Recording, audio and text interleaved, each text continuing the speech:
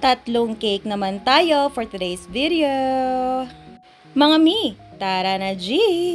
Ang daming nagsasabi na ang cheap tingnan ng cake kapag ka printed toppers yung mga nakalagay at ang iba sinasabi, bakit mo lalagyan ng papel yung cake? Eh, hindi naman nakakain yan. Kadiri, ew, ganyan. Isa lang ang masasabi ko dyan, umasta na naaayon sa budget.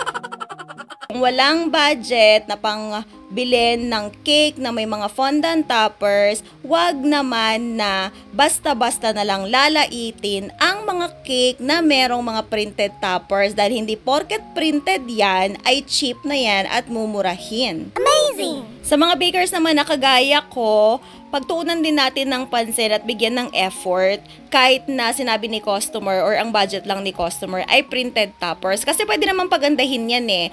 Ang mga kailangan dyan is unang-una, dapat quality yung photo paper na gagamitin natin. Meron kasi mga photo paper na parang uh, uh, makakapal na bond paper lang sila. Tapos kapag ka naprintan mo, hindi maganda yung quality ng mga pictures. Bili kayo yung quaff, ganyan yung 250 GSM, yung makakapal, para kahit na ilagay ninyo siya sa cake, hindi siya pangit tingnan, at vibrant yung mga kulay ng mga ink. At syempre, hindi nagtatapos yan sa papel. Dapat yung mga pictures din na ginagamit natin at saka yung mga dedication, yung mga sulat, kasi yan tayo nag edit niyan, di ba? Yung mga happy birthday, yung mga pangalan ng mga celebrant. Make it a habit na effortan din natin siya. I-match ninyo kung ano yung theme, kung ano yung kulay ng cake, pagandahin ninyo. Kasi, syempre, yung basihan din ng ganda ng cake, hindi lang yan dun sa cake mismo eh. Nandun yan dun sa mga dinudot-dot ninyo sa cake, yung mga pinagtututusok nyo dyan. Yan yung nakaka nakakadagdag ng ganda. So, aanin mo yung napakakinis na icing sa cake kung yung mga pinagdududut nyo naman eh parang mga pinasadahan na papel, di ba?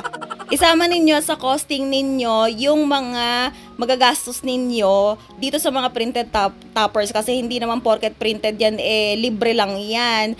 Siyempre, lalo na dun sa mga baker na wala namang sariling printer, di ba, pinapaprint pa yan. Tapos nakikisuyo ka pa, ganyan, nagbabayad ka. Kaya isingil nyo yan sa mga customers ninyo para naman hindi kayo manghinayang sa gagastusin ninyo at hindi ninyo tiperin yung mga pinapaprint ninyo, di ba? Amazing! Tapos, finally, lagyan nyo naman ng arte yung pagupit ninyo sa mga printed toppers. Meron kasi ako nakikita na mga um, baguhang bakers. Hindi naman natin sila masisisi kasi baguhan pa lang sila, di ba? Hindi pa nila nila gamat talaga yung mga ganitong galawan.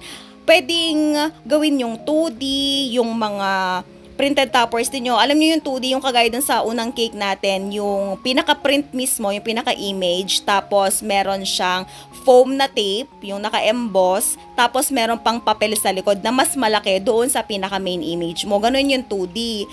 Or, pwede rin na gupitin mo yung papel base dun sa shape nung pinaka-image. Pwede yung saktong-sakto dun sa image mismo or pwedeng maglagay kayo ng konting border. Wag naman yung, kunyari si Elsa, yung printed topper ninyo tapos basta bilog na lang yung gagawin ninyong gupet, di ba? Or kunyari, sabi ni customer, palagay yung picture nung celebrant tapos ginawa ninyo rectangle. Parang ang pangit niyang tingnan, mga mi gawin yung presentable pa rin kahit na printed toppers. Effortan pa rin natin dahil hindi porket medyo mura yung mga cake na printed toppers lang ay ilalang lang natin siya. Kasi to be honest, hindi siya lang. Ako kapag gumagawa ako ng mga cake na may mga printed toppers, naglalaan talaga ako ng oras para dyan one day before ng uh, event, talagang pine-prepare ko na yung mga yan. At yung paggugupit ng mga toppers na yan, nakuy, naabot ako ng siyam-siyam dyan.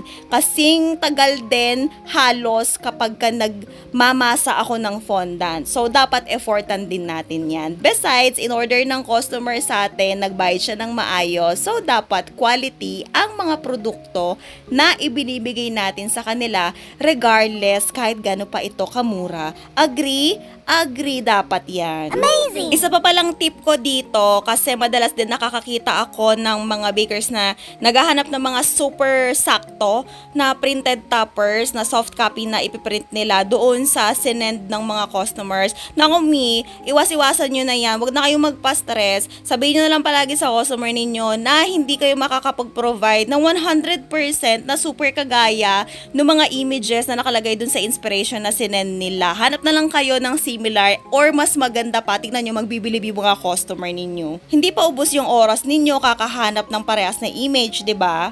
At ito na ang final result. O di ba, ang shot ng mga cakes natin, napakasarap tingnan sa mga mata. And that's it for today. See you on our next video. Bye!